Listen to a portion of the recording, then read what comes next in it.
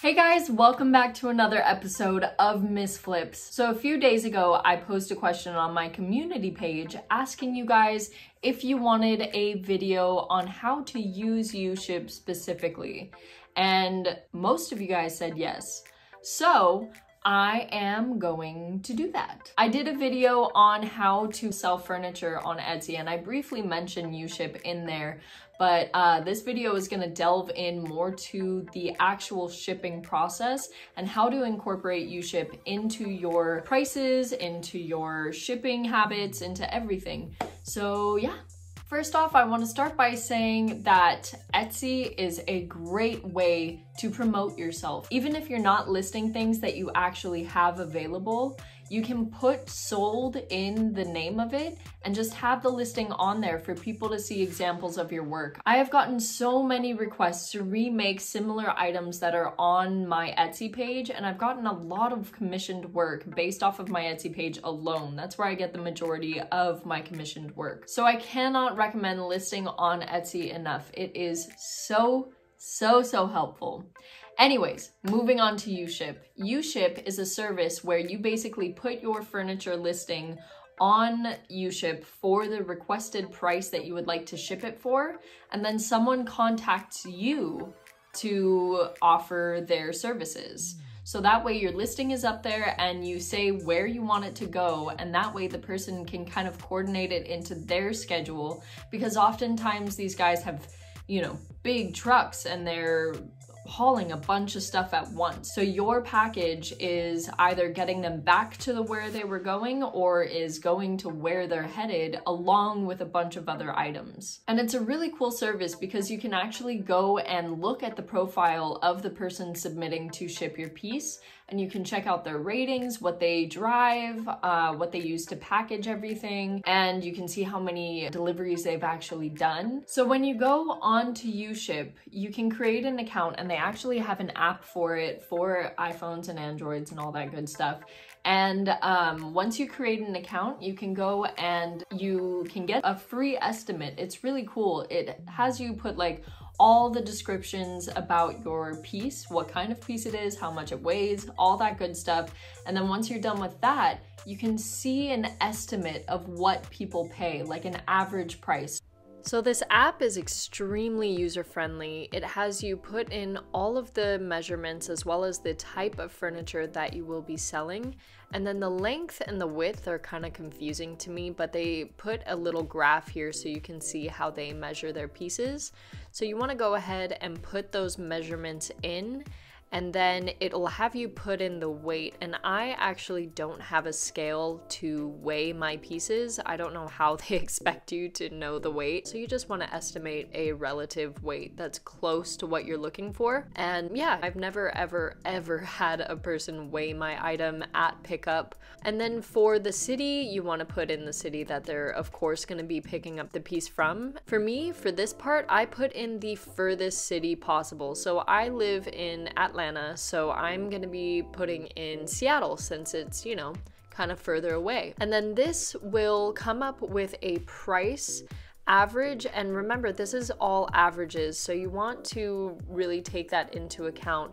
It shows you the highest amount that someone has paid and this i believe includes like higher shipping costs as far as packaging so if you want your furniture piece to be shipped with more than just a blanket wrapped around it that adds on to the cost. And then it also gives you the lowest cost that um, someone has paid for it as well as the average paid so after you get that estimate, it will have a place at the bottom where you can click and create a listing for that piece. And when you do that, I prefer to adjust my price. So instead of going for what people usually pay, I like to list it, you know, a little bit below that and see if I can list it. But when you're incorporating it into your price, you do want to be prepared for the average listing price because, you know, that's what most people pay.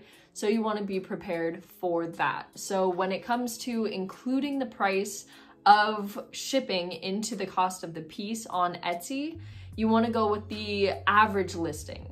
And then also when you're doing this, obviously you have no idea before you list your piece on Etsy, you don't know where it's gonna go. I live in Atlanta, Georgia, so say I'm shipping to Seattle because it's kind of on opposite ends or no, it would be like that for you guys, right? trying to accommodate for camera flipping. Um, anyways, one end of the country, the other end of the country, right? So that's what I kind of try to do when it comes to shipping. I like to compensate for the fact that I may be shipping the furthest away possible. So that way, even if I do ship to the furthest city, I will still be compensated for all of that shipping price. So say, you know, you live in Texas. You either want to put in the city for Maine or for Washington. Either one is probably going to give you the same thing, but you can look to see if it's any different and then put the average price and then add that on top of your Etsy listing.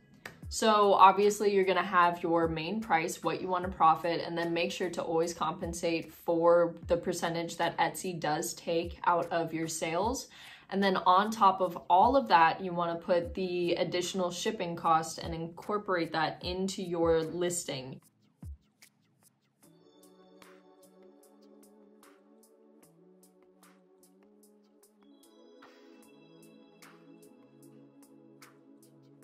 When it comes to someone accepting your shipment, you have the listing price that you offered it at. So say I want to ship a dresser for 250. That's my listing. So someone will come back and they'll either accept my offer of 250 or they'll come back saying, "Oh, I can do it for 300." And there is some bargaining and negotiation going on in those talks. You can negotiate maybe 275 or whatever the case may be, but it's whatever you're comfortable with paying. As I said, you want to prepare for the most expensive shipping possible, but you want to negotiate affordable shipping. Say the lowest price is like 150 and then the maximum price is like 550 but then the medium price is 300 you want to list it on etsy as if it was going to ship for that $300 but when it comes to what you listed on on uship you want to go for something that's in between the least amount and the medium amount or you can go with the least amount and just anticipate that people are going to want to negotiate a little bit with that price so if i list it on uship for 150 someone will probably come back and try to get closer to that 300 and that's where the negotiating comes in. When it comes to negotiating, you want to be understanding because, you know, the drivers also deal with gas prices, raising, fluctuating, all that good stuff. So sometimes a dresser might be more expensive to ship than other times, you know? It just depends on gas prices and what the drivers think their time is worth at the time. Like driving during a pandemic probably is more risky, so they might charge a little bit more right now. Gas prices are also kind of up right now, so you know, the price in general might be higher for shipping. So you also want to be considerate and just always thinking about that as well. But like with anything, there is always room for negotiation. So if someone does come at you with an offer of 300, try to negotiate with them. Try to say, okay, so I offered 150, you offered 300. Let's meet in the middle and say, you know, 235 type of thing, you know? And there are times where you will have multiple bids on your piece, and that's where your decision comes in as far as ratings, uh, how many pieces they've delivered, how communicative they are, where their price is at and then that's how you decide. And sometimes it might be worth to go with someone with a higher rating, even if they are listing it for a higher price. If, you know, someone has a five star rating and then the other person has, you know, a 3.5 or a four star rating, you might want to look at those reviews and just compare and see. And even if the person with a higher rating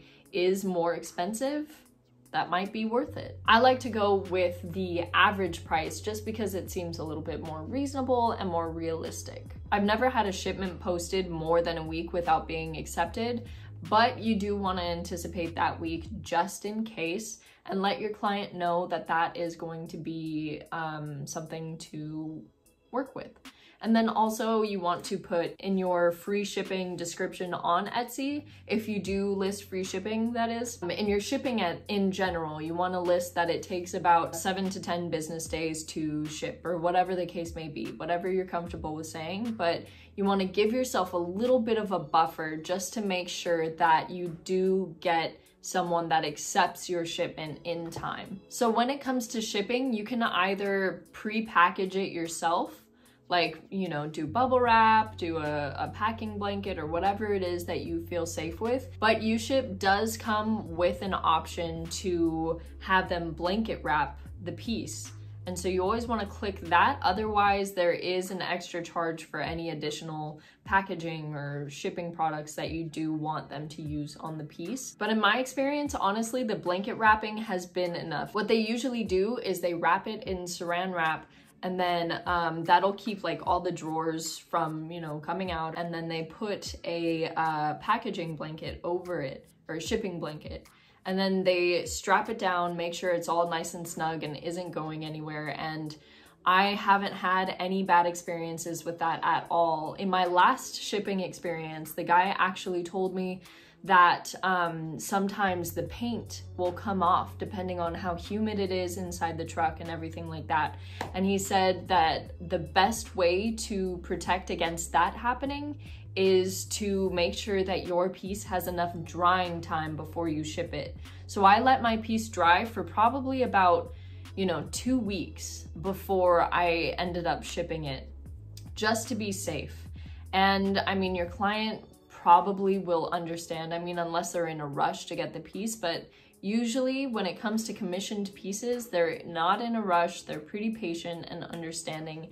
And especially when it comes to protecting the piece, they will understand. You probably don't have to wait two weeks in order to ship it. That just happened to be the schedule that my client was on and it happened to not ship for two weeks. But I do recommend at least a couple days of drying time before you ship it because as I said, they do wrap it in saran wrap, most of them. And you know, you wouldn't want your paint to get damaged before it even gets to your client. And a really cool feature that I love about UShip is that it doesn't release your payment to the driver until you release it. So it's at your discretion to pay the delivery person. So you get to make sure that it was delivered safely in the proper, you know, state and in my experience, the people are really good about getting back to you as far as when they're gonna pick it up, when they're dropping it off, when it was dropped off, and they always send you a picture of it either at the door or in the place where they delivered it. And so once they send you all that information and you feel comfortable and safe enough to actually give them the payment, then you release the payment and you're good to go. And it, you know, it's a give and take because they trust that you'll pay it because if not, you'll get a bad review from them and then not be able to use UShip or not have anybody want to work with you and all that sort of stuff. So there's reviews on both sides to kind of guarantee the reliability of both parties, which I really appreciate. With an app like this, you know, it's up in the air, you know, you don't really know what you're gonna get, but with the review system and you can see how many deliveries they make, it makes it so, so easy and so comfortable and just simple. And if you're doing commissioned pieces for people that are across the country, like I have been doing recently, people don't even buy my stuff off of Etsy really because it sells so fast, like over Facebook Marketplace and all that sort of stuff. So people rarely buy my pieces actually on Etsy. I've only had one piece that has sold through Etsy. Other than that, I get messages on Etsy for commissioned pieces. And when it comes to that, you know, of course your pricing is your own. It's your own choice on how much you want to charge and what you're charging for your time and all that sort of stuff. But when it comes to shipping, you can kind of give them an estimate with UShip. You can ask what dimensions they need, what kind of piece they're looking for, and then tell them right, you know, straight up front, this is approximately what it's going to be for shipping. And then if they're okay with everything, then you're good to go. Honestly, the only bummer about UShip is that you can't really use the same delivery guy more than once because you know unless you're shipping to the exact same city which you know does definitely happen but they have their own schedule that they're running on that oftentimes doesn't fit yours and or are going to a different city, all that sort of stuff. But um you know, you you get to like the person that you're working with. I've worked with several guys that I really really enjoyed and that were so nice and helpful and communicative and I just really appreciated their service. And of course I gave raving reviews, but you know, I I want to give them my business because they were so great, but I can't do it anymore because of all those things I just mentioned. So that honestly is the only bummer about UShip, but it's not even really a bad thing because you're using it for what it's meant for and you're getting great service out of it. So honestly,